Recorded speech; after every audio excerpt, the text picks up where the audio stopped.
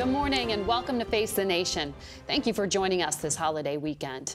We begin today with immigration and the win for the Biden administration last week in the Supreme Court, that of the ending of President Trump's Remain in Mexico policy. To discuss that and more, we want to welcome Homeland Security Secretary Alejandro Mayorkas to this broadcast. Mr. Secretary, good morning to you. Happy early 4th of July.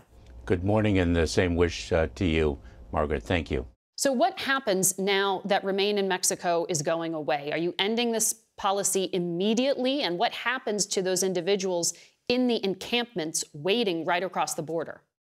Margaret, we were very pleased with the Supreme Court's decision. So now, uh, in light of the um, the favorable Supreme Court ruling, we have to wait for that ruling to reach the district court that issued an injunction preventing us from ending remain in Mexico. So we have uh, several weeks to go before the district court lifts its injunction.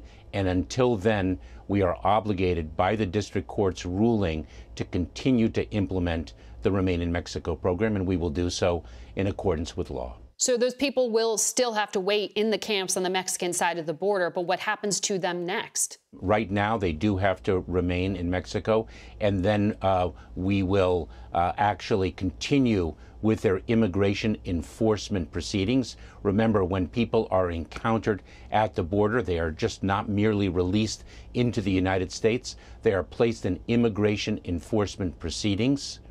And that is what will occur uh, with these people. Their proceedings will continue in immigration court, where they will pursue their claims for asylum.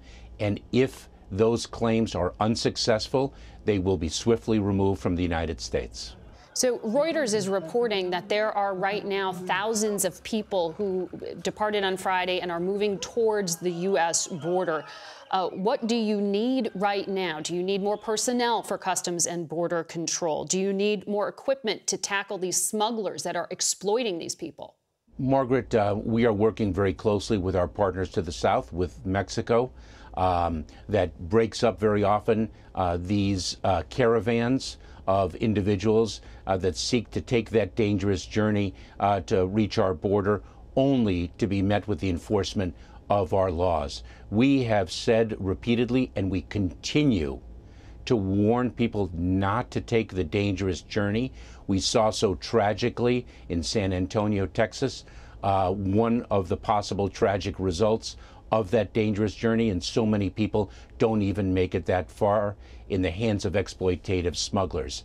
And we continue to enforce immigration law as is our legal responsibility. You are saying right now, what I hear you saying is do not come. But those words are not being heard. People are moving right now. So the efforts to stop the root causes are not stopping them. This horrific trafficking, uh, the worst smuggling tragedy in U.S. history this week, with those individuals found dead in that trailer truck. That's not stopping people. Are you predicting that this is only going to get more significant from here, that we're going to go beyond the record surge in migrants? Uh, uh, no, I am. I'm not predicting that at all. And and in fact, in the wake of the San Antonio tragedy and our Homeland Security investigations, uh, is the lead federal agency. Um, investigating uh, what occurred and um, working with the United States Attorney's Office in the prosecution of thus far four individuals who've been charged with that heinous uh, crime. We're working with our partners to the south because this is a regional challenge that requires a regional response. But they got past US, the U.S. border officials. Oh, so we have a multi layered approach, uh, Margaret. We, of course, have our inspections at the port of entry with our sophisticated non intrusive technology. We then have checkpoints uh, that are staffed 24 hours a day, seven days a week. The Laredo checkpoint in question, 10 to 14,000 vehicles pass through that checkpoint every day. So, um, how did this, this smuggler get these alone, people across? 53 people died. These are very sophisticated transnational criminal organizations.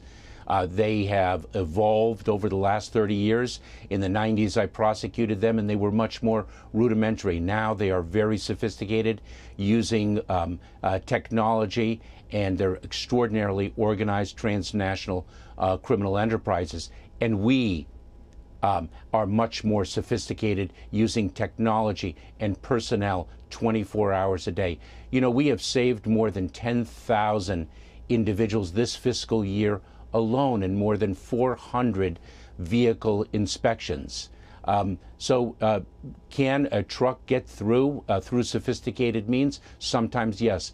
But I have to say, we've interdicted more drugs at the ports of entry than ever before. We've rescued more migrants. We're seeing a challenge uh, that is really regional, hemispheric in scope, and we're addressing it accordingly. Mr. Secretary, I also want to ask you here at home about what we've seen in the past 24 hours. There's been this back and forth between state and federal uh, law enforcement regarding security to Supreme Court justices and protests outside their home. Does the threat go beyond picketing? Is it specific and credible? So we um, have seen a heightened threat envir environment over the last several months over a number of different um, volatile uh, issues that galvanize people on different sides uh, of each issue. We in the Department of Homeland Security uh, become involved when there's a connectivity between um, uh, the the opposition to a particular view or a, an ideology uh, of hate, a false narrative, and violence. It is that connectivity to violence uh, when we engage, and we are very mindful that the Supreme Court's uh, decision uh, in um, uh, reversing and overturning Roe versus Wade uh, has um, uh, really heightened the threat environment, and we have deployed resources to ensure the safety and security of the Supreme Court and the justices. We Before I let you go, I do want to ask you about what we saw this weekend up in Boston. A white supremacist group called Patriot Front marched through that city. They recently planned events. Uh, riot in Idaho. You're seeing this far right group, the Proud Boys, also disrupt events in California. How concerned are you right now about these militias? Margaret, um, I have said, and uh, this has been echoed by the director of the um, FBI, uh, that domestic violent extremism is one of the greatest terrorism related threats that we face in the homeland today. Individuals um, spurred by ideologies of hate, false narratives, personal grievances, to acts of violence. And it is that violence that we um, uh, respond to and we seek to, of course, uh, prevent. Uh, we are in a heightened threat uh, environment. Mr. Secretary, thank you for your time today. Thank you, Margaret.